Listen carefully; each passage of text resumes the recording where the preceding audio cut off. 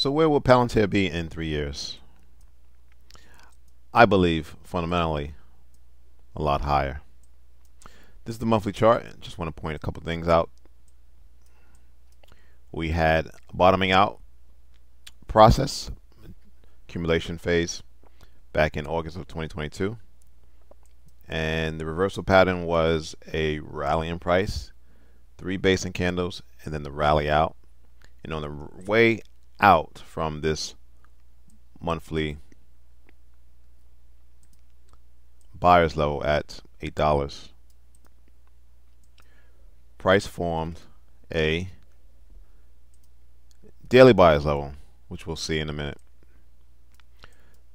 But big picture, we had a similar pattern. We had a rally base, rally out, price hit resistance, which was support in the past, pulled back, gave buyers an opportunity to get long.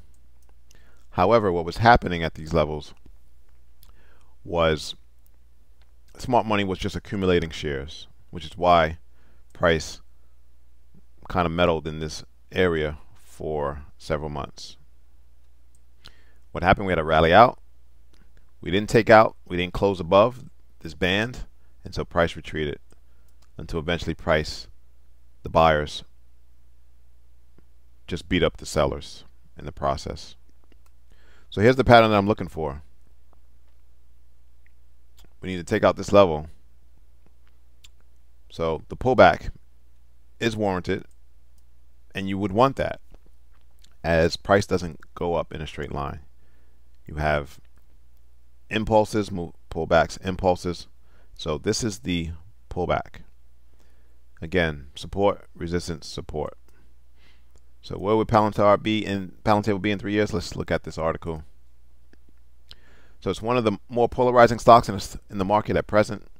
It has been a very strong performer over the past year, up 150%, and we saw that by just looking at the price action on the monthly chart. Now the bearish case for Palantir largely centers around its valuation and current growth rates. The stock currently trades at a forward price to sales ratio of just under 19.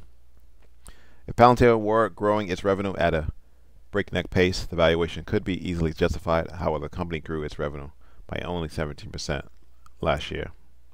Now, looking ahead, the company guided for full year 2024 revenue to be 2.62 billion to 2.668 billion. That would represent growth of 19% to 20%. Now, the company rose to prominence with its data gathering and analytics platform that helped U.S. government intelligence agencies track and fight terrorism and helps with other mission critical tasks.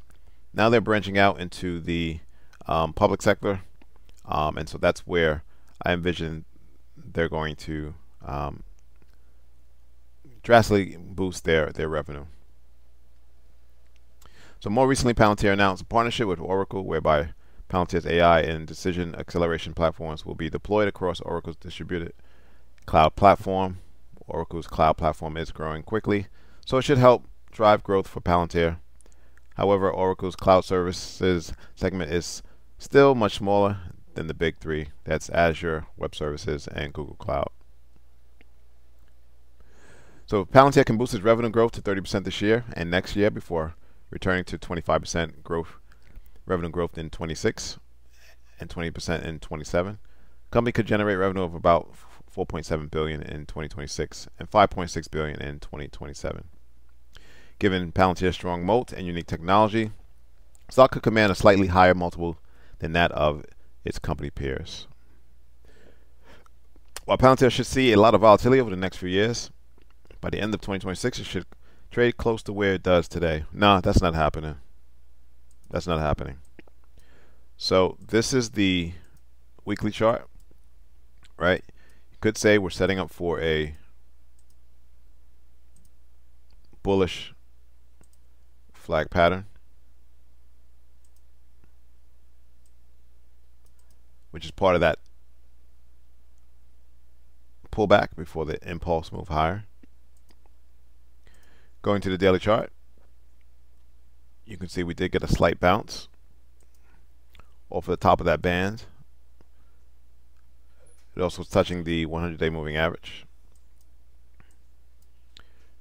And so what we need to see, price is going to go higher, we need to see price close above $23. And if that happens, then potentially the reversal is in progress. However, if price is going to go higher, we need to see a close on the weekly chart above $26. Thanks for watching. Subscribe. Please like the video.